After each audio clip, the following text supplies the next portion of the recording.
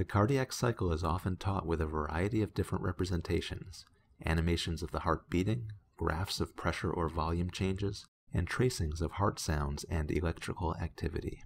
This diagram brings together several of these types of representations to help you form connections between these ways of looking at the heart.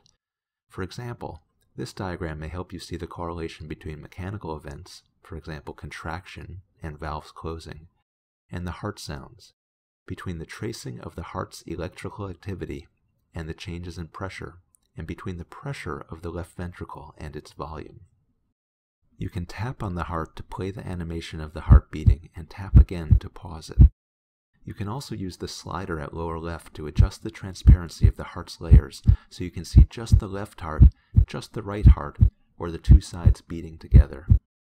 When the heart is paused, you can drag your finger over the time axis of the center graphs to move through the cardiac cycle.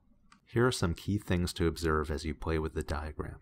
The center stack of three graphs, one above another, is called a Wiggers diagram. It has a common time axis, so if you draw a vertical line, it cuts through all three graphs at what corresponds to the same time in the cardiac cycle. The middle graph in the Wiggers diagram is the phonocardiogram, a sound tracing of the heart beating. Listen to the heart sounds with headphones, and watch the phonocardiogram to correlate S1 and S2 with the sounds. Just above the phonocardiogram is a tracing of heart pressures versus time for left ventricle, left atrium, and aorta. Drag your finger along the time axis to correlate the pressure changes with the contraction and relaxation of the heart. For example, you can see that pressure rises as the heart is contracting, and the pressure falls after the heart begins its relaxation.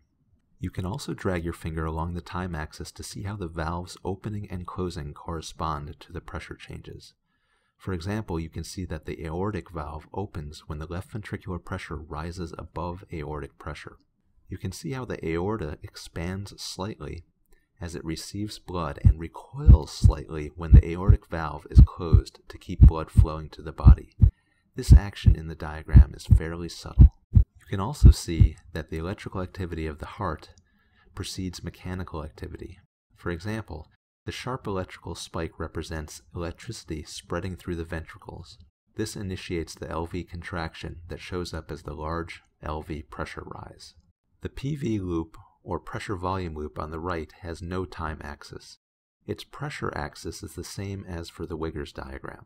You can drag your finger along the time axis of the Wiggers diagram to see that each corner of the PV loop corresponds to the closing or opening of a heart valve.